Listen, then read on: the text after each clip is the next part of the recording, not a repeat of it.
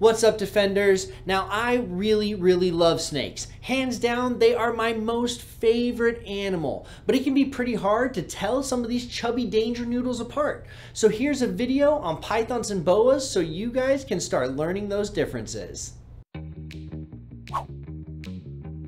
Pythons are found in Australia, Asia, and Africa.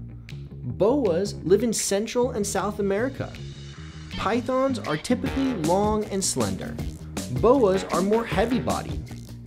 Pythons have an extra row of teeth in their mouth. Boas do not. Lays eggs? Gives live birth. Heat sensing pits? No heat sensing pits.